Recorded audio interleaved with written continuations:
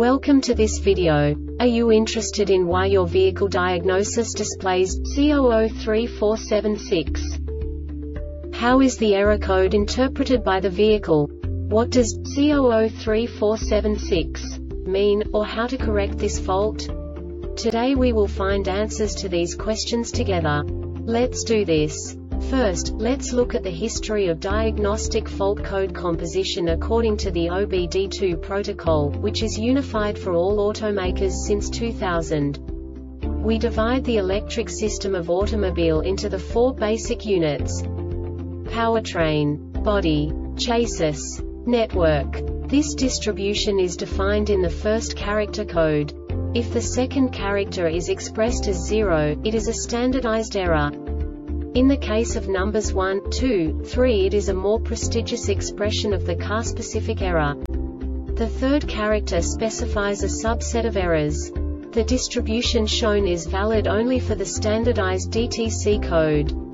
Only the last two characters define the specific fault of the group. The add-on to the error code serves to specify the status in more detail. For example, a short to the ground. Let's not forget that such a division is valid only if the other character code is expressed by the number 0. Our website airbagreset.sk produces useful videos for you. You do not have to go through the OBD2 protocol anymore to know how to troubleshoot any car breakdown. You will find all the diagnostic codes that can be diagnosed in a Infiniti vehicles. Also many other useful things. The following demonstration will help you look into the world of software for car control units. You unbelievably can move the video a bit further. The error code is split into two bytes consisting of 16 bits. One bit is the basic unit that each computer works with. The bit has two logical states. 0, low level, 1, high level. By combining the first two bits, the basic character of the error code is expressed. The next two bits again determine the second character. The last beat styles of the first byte define the third character of the code. The second byte is composed of a combination of 8 bits. The first 4 bits determine the fourth character of the code. And the combination of the last 4 bits defines the fifth character. A single byte conceals 256 possible combinations.